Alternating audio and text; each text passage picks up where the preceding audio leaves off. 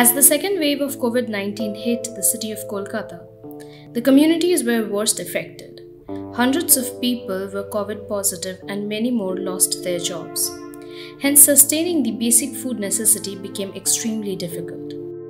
Prayasam started Find to Feed program to provide meals to these families. A total of 500 families from five communities were prioritized within the program on the basis of families affected with COVID 19 and families with no source of income.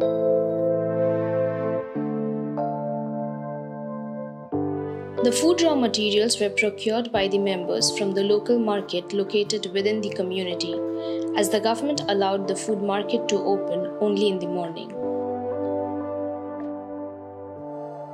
The community mothers, along with Prayasam youth, prepared the meals for the families.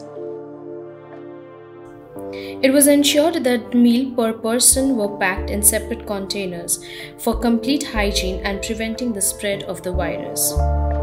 Since the meal quantity was huge, 400 people per community, the cooking responsibility was divided.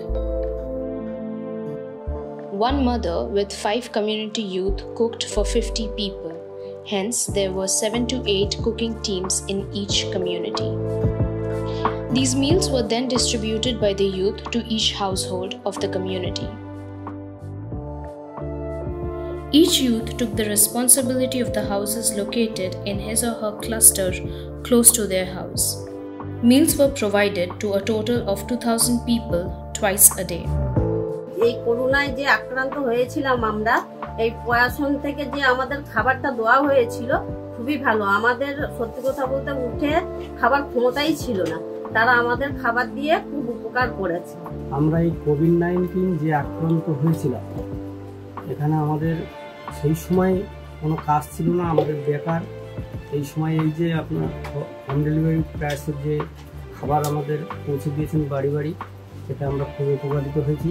রান্না করা করতে তো পারতাম না উনান ধারে দিতে পারতাম না। যে তোমরা যে প্রতিদিন থেকে যে খাবারটা দিয়েছ খাবারটা খেয়ে আমরা খুব উপকার পেয়েছি। টানাটানি যাচ্ছিল কিন্তু আমার কাজ ফাজ সব বন্ধ হয়ে গেছে। আসাম থেকে আমরা সাহায্য পেয়েছি খুব আমার উপকার হয়েছে। হ্যাঁ করোনার সময় আমাদের সময় রান্না করছি না ওরা দিলে অনেক সুবিধা হয়। Thank you to all the supporters for being by the side of the community people in the time of need.